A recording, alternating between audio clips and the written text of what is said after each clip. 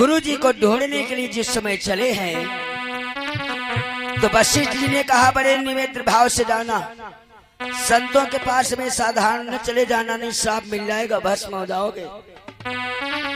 संत मिलन को जाइयो तदि माया अभिमान।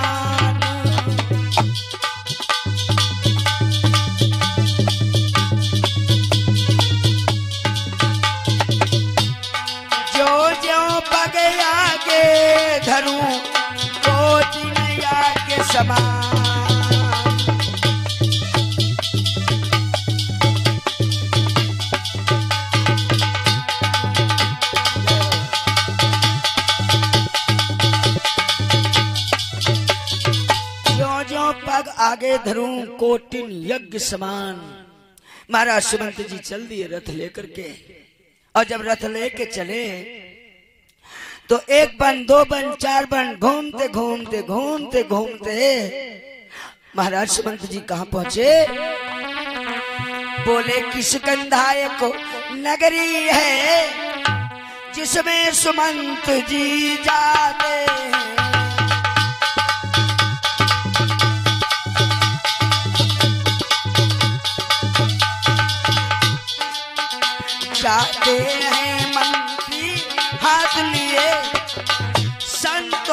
से पता।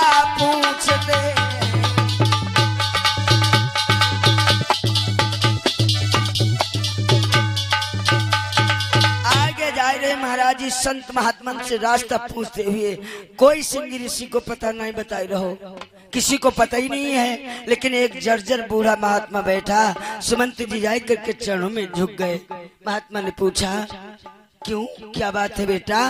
तो आज सुमंत ने हाथ जोड़े, महाराज, मैं अयोध्या पति महाराज दशरथ का मंत्री हूँ। क्यों आए हो? तो आज सुमंत जी ने हाथ जोड़े बाबा जी करी ज़ोर बिने तब बोल उठे बाबा जी मोह को बहुत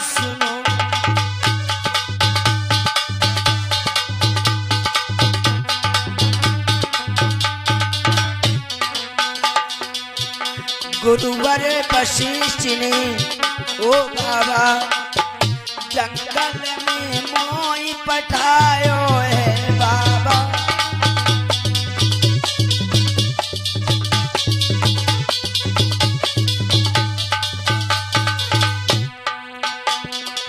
आवाज़ बढ़ाइए, गले में नहीं लग रहा। कहा, महाराज जी, मुझे गुरुजी ने भेजा है, क्यों? तो जवाब दिया, मुझे सिंगी ऋषि का पता लगाना है। कहा चले जाओ सीधे लफेर वन में। महाराज जी लभेर वन में तपस्या कर रहे हैं। लेकिन बेटा बहुत हिसाब से जाना। क्यों? चौबीस घंटे में एक बार गुफा से बाहर निकलते हैं। और मालूम क्या करनी? भोजन करनी। भोजन किस चीज़ का कर रहे हैं? महाराज जी लभेरे की छाल को चाट करके पुनः वापस चले जाते हैं। सुमंत बोले, ठीक है। सुमंत जाकर के लभेर वन में जिस समय पहुँचे तो एक एक वन में एक एक वृक्ष को देख रहे, किसकी छाल को चाट रहे हैं। एक पेड़ मिला, सुमंत जी दूर जाकर के बैठ गए। पूरी रात इंतज़ार किया, अब निकलते होंगे, अब निकलेंगे अब निकलेंगे। सवेरा हो गया, राजन सवेरे आज अब धूत जटिल फक्कड़ के रूप में महाराज जी निकले और आकर के उस पेड़ की छाल में जबान लगा करके चाटना शुरू कर दिया। चाटने के बाद में पुण्य वापस चले गए। सुमंत ने कुछ नहीं कहा। अपने यहाँ एक बहुत पुरानी मिठाई चलती है, रसगुल्ला। महाराज जी, सुमंत जी के पास में रसगुल्ले हैं और जाकर के समय जान चुके हैं कि सुबह सात बजे निकलते हैं, छह बजे जाकर के रसगुल्ले का लेपन कर दिया। सुमंत जी ने, आज महाराज जी जिस समय अपनी जबान को लगाया, रस दूसरा निकला, बाबा जी ने ऊपर से नीचे तक देखा, कुछ नहीं, चारों तरफ़ नज़र घुमाई, कहीं कुछ नहीं, चाट करके वापस चले गए। सुमंत ने पंद्रह दिन लगातार उसमें लेपन करते रहे, महाराज अब तो अन्न के आदि बन गए। आज सुमंत जी जाकर के, जब पहुँचे चरणों में नतमस्तक हुए, बाबा जी, कौन हो बेटा? तो जवाब दिया, मैं अयोध्यापति महाराज दशरथ का मंत्री सुमंत हूँ। किस लिए यहाँ आए हो? महाराज जी, इस पेड़ में तुम क्या खाते हो? खाल चाटता हूँ। महाराज, इसके फल खाए हो? नहीं नहीं। लभेरे में फल छोटा सा होता, मैंने कभी नहीं खाया। कहा, अरे, मैं तुम्हें खिलाऊं इसका फल? आज सुमंत ने एक रसगुल्ला निकाला, बाबा जी के हाथ पे रखा। बाबा जी ने जो सिखाया बाबा जी का दिमाग चक्कर काट गया। अभी मैं जब चाट रहा था इसका ही मतलब ये मिलते कहाँ हैं? तो जवाब दिया, महाराज, ये फल अयोध्या में प्राप्त होते हैं। आप मेरे रथ पर बैठ करके चलिएगा। आज बाबा जी ने ध्यान धर के देखा, मुस्कुराए, अरे दुष्ट, मुझे वशिष्ठ ने बुलाया। और आप रथ पर बैठ करके जिस समय चले तो अयोध्या में प्यारे सजनों आए हैं।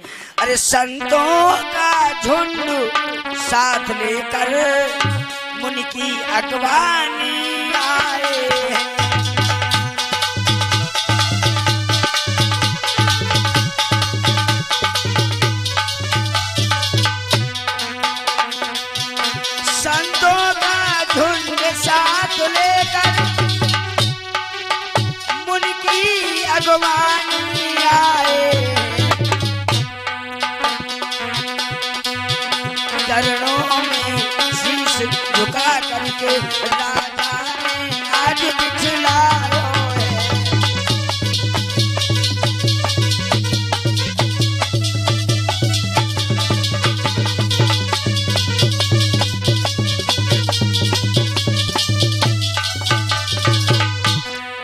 दिया संतों के चरणों में संतों ने जाकर के महाराज जी को प्रणाम किया और दशरथ सष्टांग प्रणाम कर रहे हैं।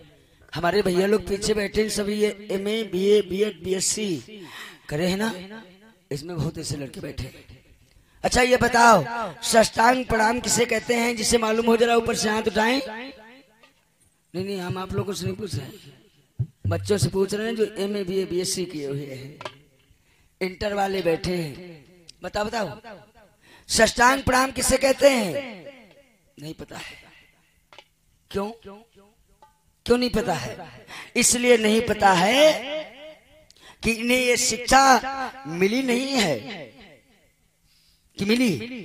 नहीं मिली। कमी किसकी? आपकी। मैंने कल परसों बताया था, प्यारे सजनों भागवत में एक बड़ा सुंदर श्लोक आया, वृद्धो पेशनम चतवार वर्धनते, आयु विद्या यशो बलम। जो कोई बालक अपने से बड़े का सम्मान करता है, चरण स्पर्श करता है। महाराज जी, चार वस्तुएँ बढ़ती हैं। कौन कौन सी? यश, कीर्ति, बल और बुद्धि। लेकिन आज कोई लाला नहीं चाहता। आज सारे लाला सांप के भागी बनते हैं। महाराज जी, दूसरा कारण, इनको यह पता नहीं कि मेरी माताएँ कितनी हैं। है किसी को पता? तुम्हारी कितनी अम्मा है? नहीं पता है। पढ़ाया नहीं गया। महाराज जी, स्कूल में जब हम पढ़ते थे तो हमारे स्कूल में हमारे गुरुजी पढ़ाया करते थे। और आज इनके स्कूल में सर जी पढ़ाते हैं, गुरुजी नहीं पढ़ाते। सर जी पढ़ाते हैं, गुरुजी नहीं पढ़ाते तो सर जी को कुछ पता ही नहीं है तो इनको क्या बताएँगे? महाराज जी, माताएँ तीन हैं। जिस माता ने हमें अपने नौ मास गर्भ में रखा प्यारे सजनों, उस माता का ये अपमान करते हैं। ऐसे कुत्ते रो रो नरक को जाते हैं। प्यारे सजनों, सच कड़ुआ होता है, बुरा न लग जाए, हाथ जोड़ता हूँ। जो लिखा है वो बता रहा हूँ। ऐसे कुत्ते रो रो नरक को जाते हैं और 80 परसेंट हमारे जो विद्यार्थी जीवन में है माताओं का अपमान करते हैं। दूसरी माता पृथ्वी। पत्नी किसकी? आप कहते हैं, भगवान के मैंने दर्शन नहीं किए। मैं कहता हूँ, उसकी पत्नी की गोदी में तुम नित्य व्रत खोलते हो, लेकिन तुमने कभी आँख भर करके देखा नहीं। वेद व्यासी ने भागवत में लिखा है, ये दूसरी मैया कौन? समुद्र वसने देवी पर्वत स्तन मंडले। विष्णु पत्नी नमस्य तो पंपादस्व क्षमा क्षमा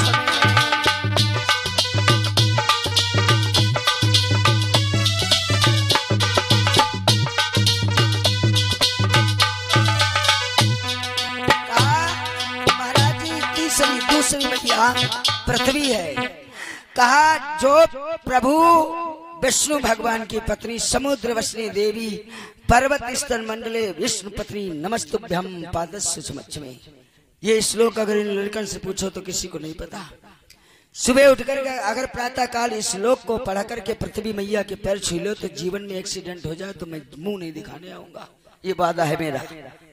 ये श्लोक पढ़ करके मैया पृथ्वी के छाती पर जब लात रखते हो तो तुम्हें लज्जा नहीं आती? क्योंकि ये माँ है। अरे, एक मैया ने तुझे जन्म दिया, जिसने केवल तीन साल तक दूध पिलाया, आज की माताएँ तो दो दिन लो नहीं पिलाती तीन साल तक पिलाया, और उसके बाद में गाल पर तमाचा दिया, बड़े हो गए हो। अब तुम दूध पियोगे?